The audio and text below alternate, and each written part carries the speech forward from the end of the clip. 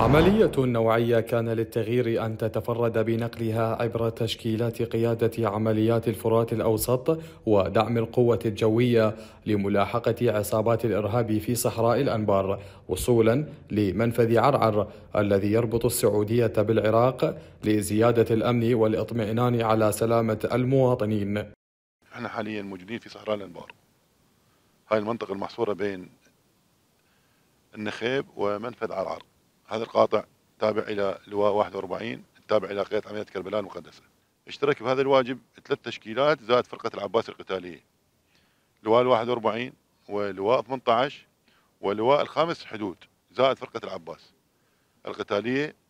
آه، كل هذه التشكيلات تقدمت عدة محاور باتجاه صحراء الأنبار. تقريبا إحنا حاليا هسه 50 كيلو متر هذه المنطقة تابعة إلى قيادة عمليات كربلاء المقدسة. الغاية من هذا الواجب هو تفتيش المنطقة بصورة بصورة بصورة كاملة من جميع النواحي.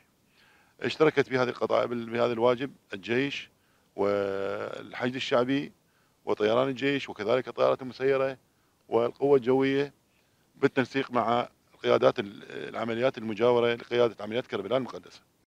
العمليات شرعت بتعاون قوة من الحشد الشعبي تم من خلالها اعتقال بعض من المطلوبين قضائيا ومتابعة المجرمين حسب مصادر استخباراتية في ذات المناطق باستخدام أجهزة متطورة وطائرات مسيرة ذات تقنيات ترصد المجاميع المسلحة. هذا العمل آه، تم تنفيذه اليوم بعد تخطيط استمر عدة أيام اعتمدت فيه أساليب نوايا العدو أساليب قتاده ولاستثمار كل النقاط الضعف اللي عند العدو لتعزيز العمل ومطاردته وتجنب أن يقوم بالتملص باتخاذ خطط مستمرة. مستمر العمل الاستخباري في متابعة المجاميع الإرهابية تم إلقاء القبض على عدد منهم قبل فترة وأرسل أحدهم والحمد لله على ضوء أيضا المعلومات اللي حصل بها نتحرك الآن حاليا.